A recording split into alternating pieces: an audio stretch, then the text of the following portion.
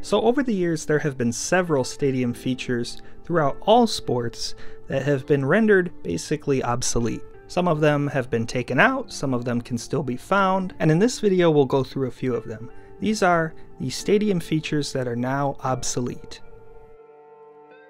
First off we have large light supports or large light posts. Going back before widespread use of white LED lights and light bulbs, most stadiums used the metal halide light bulb and lights. And these were a lot less energy efficient and took a lot more space and bulbs to light up a stadium at night. And in turn, it would require much larger spaces and supports for those lights. So what you now have on many stadiums that were built before LED lights became a thing is you have a lot of support structures that are a lot larger than what is needed for the lights, since the LED is much more concentrated and requires many less bulbs, which at stadiums for the most part was not until the early 2010s.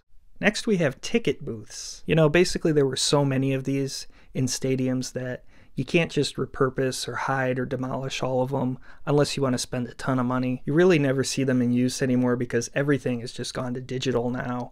Even if you want to buy tickets at the stadium, you just go to a kiosk. You don't even go to a booth anymore. I mean, we're at a point where stadiums aren't even taking cash anymore, so paper tickets are pretty much done. Another feature we have are turnstiles. You know, these were used to monitor the count of people attending a game but with digital sales, you really don't need that anymore. Everything is tracked through barcode scanning, so by and large, you won't really see too many of these much anymore.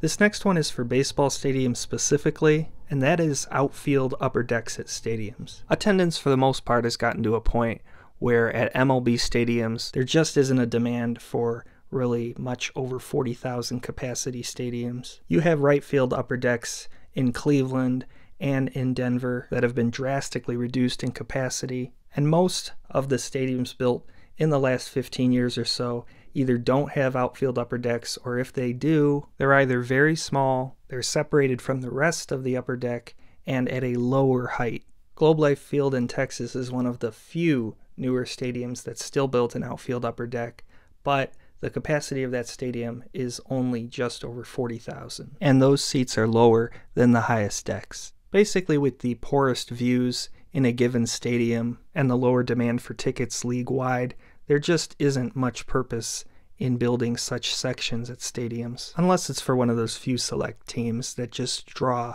very well no matter what.